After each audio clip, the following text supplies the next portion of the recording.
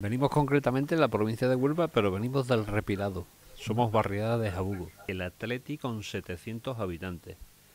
Mi abuelo, con 103 años, es del Athletic Club de Bilbao. A mi padre que tiene 80 no lo obligó su padre.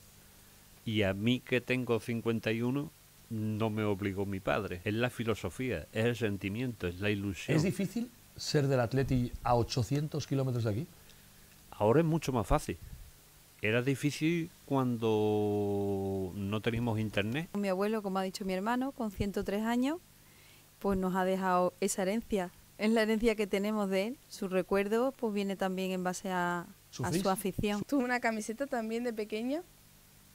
Antes de nacer ya salimos en el periódico con en la web con los jugadores. Por desgracia no ha podido venir nuestro abuelo, que también, y le hubiera encantado estar aquí. Y pues nada, mi saludo para él.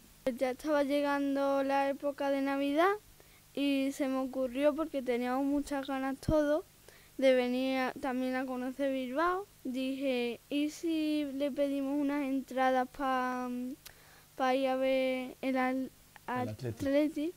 Y bueno, pues para la experiencia de ir a Bilbao. No os podéis imaginar las caras de todas estas personas el otro día cuando entraron a ver el partido ante el Getafe. Todos emocionados, llorando. Hoy hemos estado hablando con el señor presidente, le hemos enseñado el vídeo de lo que ocurrió a la entrada y eso ha sido algo maravilloso que yo por lo menos me llevo para la historia. Al final nos quedamos a ver partido mañana aquí, aunque sea en donde sea o como sea. Pues tengo un carnet para la familia de Huelva, porque me ha llegado el. Hay alguien que está llorando casi. Mi cuñado Javi y es el que debe entrar. Yo me supongo que el resto de la familia estará de acuerdo. Tribuna Norte Alta. Yo trabajo, pero a la mediodía podemos quedar, las dos, así. Le dejo el carnet igual Creo que esto como ya está. un millón de gracias, de verdad, un millón de gracias. Esto llega mucho. A mí me llega mucho esto.